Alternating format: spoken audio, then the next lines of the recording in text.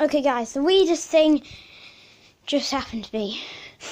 so I was playing FNF 2, right? FNF 2. Asked me if you want to, um, ask me if you want to do a drill, or if you want to do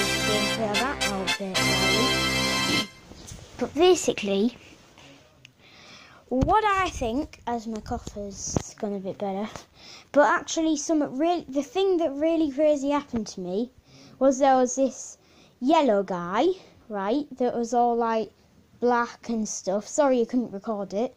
Um, he was like, there was this yellow thing that had like black lines with it, as well as yellow things, that was walking along casually like this. Also, there was this red fan as well, um, which had a few lines in it, not many though and there was this i'm not sure what it was it was looked like a bed. And the guy who was walking along casually he was like orange he went oh oh oh oh oh oh oh oh oh. For about five or ten minutes. Very long. And he said why don't you just exit the game because I wanted to see what it ended like, and just ended like this. Oh, oh. And the way it happened was when in FNF2, I got jump scared by, I think it was Nightmare Bonnie. Yeah, Nightmare Bonnie, I think. That might have been the dream ending or something.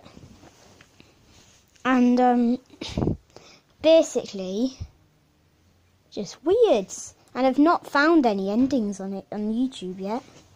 So tell so any of you guys who do FNF2, tell me in the comment section below with the what ending you think it is. But it just was this guy who went, oh, oh, oh, oh, just casually walking along with a fan and a bed. But it wasn't a full guy, it was just this yellow outline with a bunch of black things in it. I don't know what it was. Just like that, I got jump scared. I just got jump scared by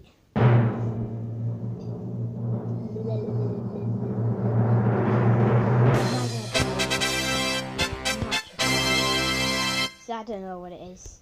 Also, it's on FNF2 as well. I could have found a new ending, probably not though.